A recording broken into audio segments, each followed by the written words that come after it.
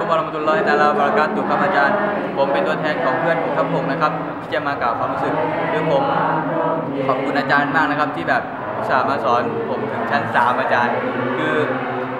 เอาตรงผมผมต้องขอโทษมากๆว่าอาจจะมีบางคาบที่แบบพวกผมไม่ค่อยตั้งใจเรียนอย่างนี้ใช่ไหมครับแล้วก็อาจจะมีกินในห้องแล้วก็ไม่เชื่อฟังอาจารย์ใช่ไหมครับ แต่ยังไงก็ยังทำงานส่งให้อาจารย์ แล้วก็สุดท้ายนี้ผมขอให้อาจารย์โชคดี สำหรับการงานของอาจารย์ด้วยนะครับ แล้วก็ชมตัวแทนขอบคุณค่ะการเรีโชยนคดีค่ะ